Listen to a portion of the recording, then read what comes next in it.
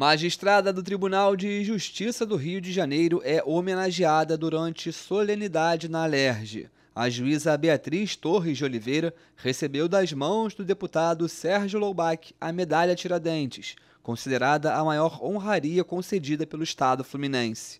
Beatriz é magistrada há 16 anos. Hoje atua na comarca de São Sebastião do Alto e teve atuação destacada no programa Justiça Itinerante, que atendeu após as tragédias da região serrana o município de Nova Friburgo em 2011. Autor da comenda, o parlamentar falou sobre a atuação da juíza durante a tragédia que vitimou mais de 900 pessoas naquela região. Em 2011, Nova Friburgo, a região serrana, Teresópolis, Petrópolis, foi vítima de uma catástrofe socioambiental violenta, mais de 600 friburguenses morreram, pessoas ainda desaparecidas, e ela teve um papel importantíssimo em trazer o judiciário para dentro daquela questão, que era um momento terrível na nossa cidade, histórico, e o judiciário foi muito importante em reconhecimento dos cadáveres, e ela participou ativamente, levando a justiça para onde o povo está, né? Então ela se faz merecedora e nós que vivemos esse ambiente tão desastroso, né, esse ambiente histórico, negativamente falando, temos que prestigiar aqueles que fizeram, cada um dentro da sua área, dentro da sua responsabilidade, mas que se doaram naquele momento tão difícil da nossa história. Os dias seguintes às fortes chuvas transformaram os municípios atingidos em cenas semelhantes à de um filme de guerra. Militares por toda parte, montanhas desmoronadas, ruas desaparecidas em meio a tanto barro e destroços de casas, carros e mobiliários urbanos.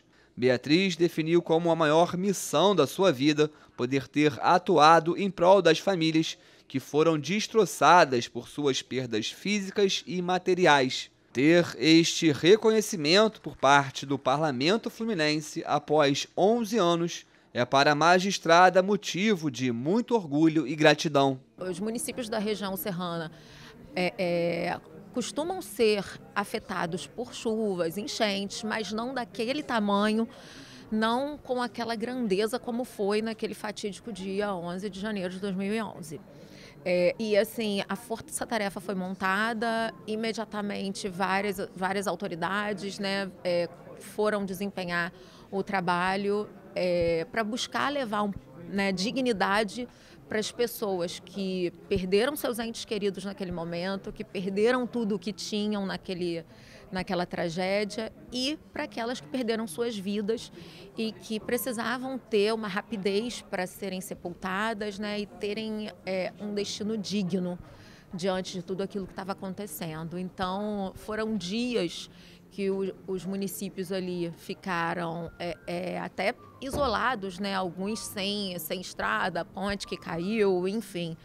É, e saber que isso tudo pôde fazer a diferença, né? Ali, naquele momento, naquele local, é, foi muito gratificante.